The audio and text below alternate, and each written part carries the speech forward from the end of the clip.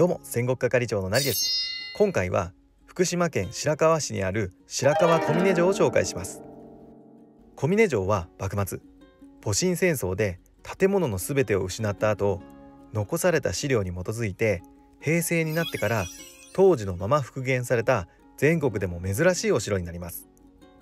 この動画ではそんな小峰城の魅力を徹底的に紹介してその魅力を存分に伝えていきます。まずタイトルで不滅の名城と題していますが冒頭で話した通り小峰城は見事な復活を成し遂げているんです。まさにこれこそが小峰城の一番の見どころになります。今回は先に結論小峰城の大きな魅力を話します。まずはこれ。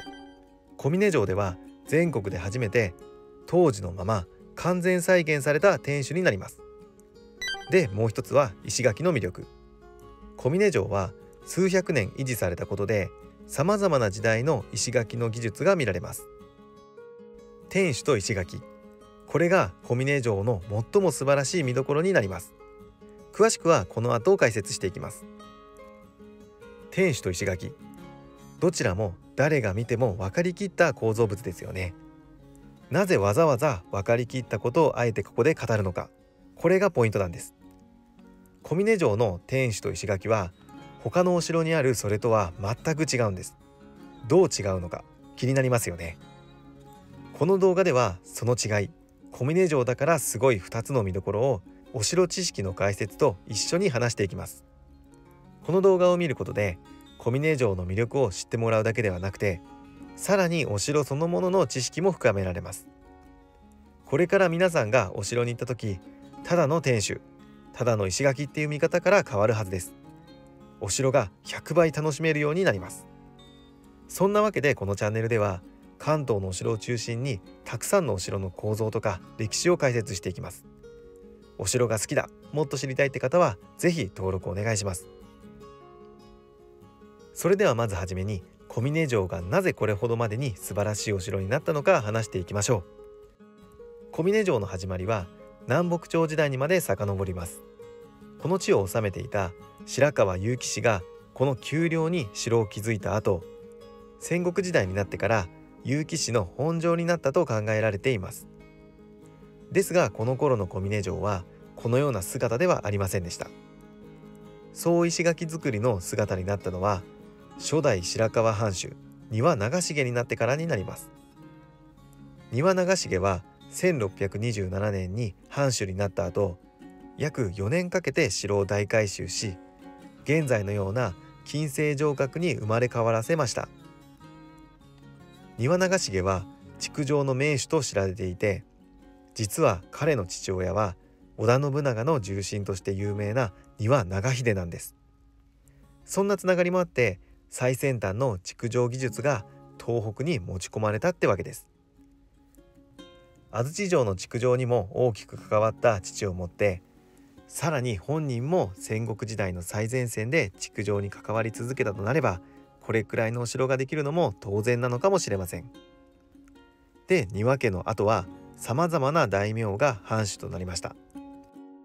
1866年に安倍家が天保となって幕府の直轄地となるまで7家21代の白河藩主がここを居城としていましたそして1868年戊辰戦争の白河口の戦いで落城となります。これが小峰城の歴史の大まかな流れです。金星城郭として生まれ変わった後240年越しに戦火に見舞われる。なかなか珍しい歴史を持つお城ですよね。戊辰戦争で一度はボロボロになった小峰城でしたが平成になって天守や門が復元されました。この復元は江戸時代の絵図に基づき忠実に木造で復元されたもので当時全国で初めての試みだったようです。皆さんは全国のお城の天守にも分類があるってことをご存知でしょうか？天守の分類はこの表の通り大きく4つの分類に分けられます。このうち小峰城は復元天守に分類されます。復元天守は一度はなくなってしまったものを資料などをもとに当時のままできるだけ忠実に復元した天守のことを言います。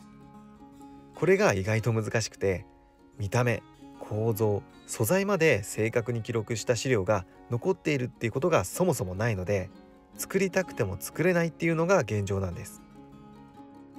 この表はあくまでも天守を分かりやすく分類するためのものなので全部知っておく必要はありませんがこれを知っているだけで小峰城の天守がどんな奇跡と人々の思いによって復元されたかがわかるので是非話したかったんです。ちなみに小峰城の天守は正確には天守ではなく三重櫓と呼ばれているんです。分かりにくくなっちゃうので今回はあえて天守と呼ばせてもらってますがそうなんです。江戸時代幕府から武家諸法度が発布されると大名は築城を厳しく管理されて天守は建てられなくなっちゃったんです。そんな中で藩の中心であるお城には天守のようなシンボルが必要とされ同じ規模を持つ櫓が天守の代わりとして位置づけられるようになっていきました。東日本のお城の多くは武家諸法度発布後に作られたお城が多いので天守のような櫓がいくつもあります。小峰城の天守も周辺のどこからでも眺められるまさにお城の象徴となっています。建物の高さは14メートルになるそうです。あの屋根に使われている瓦はなんと1万3000枚以上もあって下からだとあんなに小さく見えるシャチホコも高さが1.2メートルにもなるんです。石落としだ。こちらは石落としです天守に取り付く敵を上から攻撃する窓になります。こっから落とすんだ。そうだよ。ここからガラスを落とそうそうそうそう。もう登ってこれるかねこんなとこ。で後編にここから見や打たれたらうん。ち落としてくれうちをこれが様と呼ばれる小窓です。様には矢様や鉄砲様と名前も大きさも違ったりします。弓用だもんね。打ってせーの。打っ。てあ雲ついた。どの武器でどこを守るのか。小窓から見える敵と武器の射程距離を考えながら見てみると面白いかもしれません。お城を訪れた際にこのような方を見かけたらそれは彼彼女が全力でお城を楽しんでいるって証拠なのでそっと見守ってあげてくださいお城を用意しているわけじゃありませんからね。そして小峰城のもう一つの見どころは石垣です。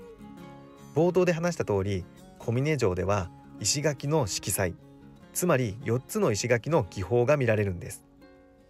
石垣を眺めてみるとただの石の壁にしか見えませんが実はそこには数百年の歴史とさまざまな石積みの技術が刻まれているんです。どういうことでしょう？わかりますか？こうして比べてみると違うのがわかりますよね。これ全部が小峰城で見られるんです。こんな贅沢なお城が他にあるでしょうか？石垣の技法は時代によって様々な変化を遂げていて石材の加工と積み方の観点からそれぞれ2つの技法があります。ざっと分類してみるとこんな感じになります。まずは縦の軸。石材の加工の分類。下へ行くほど時代的には新しく加工技術も高くなります。そうは言ってもお城ごとの事情に合わせて石垣の技法が採用されるので技法だけで時代の特定ができるものではないようです。次に横軸。積み方の分類。石の並びを見た時に横にずらっと揃っているものが布積み。こんな風に不規則なものが乱積みになります。積み方については右へ行くほど難易度が高まります。何気なく見ていた石垣でしたが意外とたくさんの技法があったんですね。では小峰城の石垣を見ていきましょう。まずは小峰城の石垣で最も古い部分です。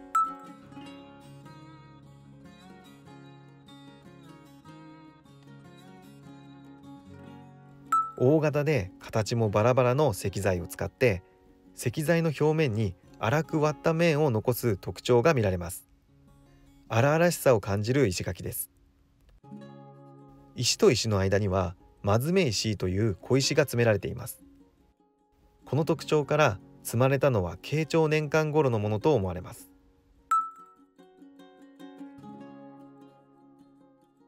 どうでしょう？この辺りの石垣は隙間なくぴったりと積まれていてしかも横の並びもかなり整っているように見えます。一つ一つの粒がチョコレートのようでお腹が空きそうです。そしてこれです。さっきのも隙間はないように見えましたがこっちは表面までもぴったりと滑らかに積まれています。綺麗なパズルのようですね。最後の技法はこれ。どの石も斜めに落ちているように見えることから落とし積みと呼ばれています。清水門を入ったところにある石垣の落とし積みは必見です。どうですか？この形は偶然なのか？それとも意図的に積まれたものなのか？面白い積み方ですよね。石の重みを下の石で分散しながら受けているようで効果的に強度を高めているような積み方です。この斜めの積み方はまるで石垣がにっこり笑っているようにも見えますね。入り口入ってすぐの場所なので観光客を笑顔で迎えられているような気がします。こうした各時代の技法があちこちで見られます。おそらく長い時間の中で補修した時代の技法が用いられているからなのではないでしょうか。小峰城の周りを歩きながら石垣にどの技法が取られてどの時代に積まれたのか想像すると最高の時間を過ごせるはずです。まさに石垣の色彩。まるで季節が移り変わるように石垣の技法からも時の流れを感じられます。石の一つ一つを眺めていると時間が経つのを忘れてしまいそうです。いかがでしたでしょうか？小峰城の魅力はまだまだありますが今回はお城の2つの大きな魅力を紹介しました。ここでさらに石垣が大好きな僕の視点から小峰城の石垣で注目すべきポイントを戦国係長改め石垣係長として2つ補足します。石垣の技法を眺めていると石の表面に傷があることにお気づきでしょうか。数百年の時間を経てあるいは戊辰戦争の影響で石垣の表面に傷がついたと思いませんか？でもそれは違うんです。これらの傷は石垣を美しく見せるための化粧なんです。この化粧は石の表面を細かく削ることで施され石垣をより美しいものにすることが目的なんです。これは平和な時代の技法の一つと言えるのかもしれません。次に注目すべきポイントはここ。石垣の反りです。これは緩やかに登り始めて上部で急に角度が変化してほぼ垂直に反る技法になります。この反ることで防御性が高まるとも思われますがこの技法の採用は築城者の個性による部分も大きいでしょう。皆さんは反る派ですか？それとも反らない派ですか？僕個人としては反る派ですね。このような美しく見せようとする美的な技法と戦に特化した技法の絶妙な融合が金星城郭の大きな魅力なのではないでしょうか。ということで今回は福島県白河市の白河小峰城を紹介しました。最後に動画をまとめると白河小峰城の見どころは天守と石垣の2つありますと。天守は全国でも珍しい絵図に基づいて忠実に再現された木造の建物ですと。石垣は高い築城技術と数百年の間に導入された4つの技法が見られるまるで四季折々の石垣の表情を見られるような素晴らしいお城でしたと。そういうことでした。実は動画はまだまだ終わらないんです。次の動画では後編として白河小峰城をさらに深掘りしていきます。細かい意向の解説とか僕の考察も話していくのでもっともっと小峰城について知りたいという方は是非後半もお楽しみに。そんなわけでこのチャンネルでは群馬県出身の戦国係長なりが関東のお城を中心に誰でも知ってるメジャーなお城から城好きでも行ったことないような超マイナーなお城まで発信していきます。関東のお城だったらどのチャンネルよりも深く紹介していますのでお城が好きだもっと知りたいって方は是非登録お願いします。あとメンバーシップも始めていますのでメンバーシップでしか見られない限定動画もご覧になれます。気になる方は是非お願いします。最後までご視聴ありがとうございました。後編の動画もよろしくお願いします。ではまた。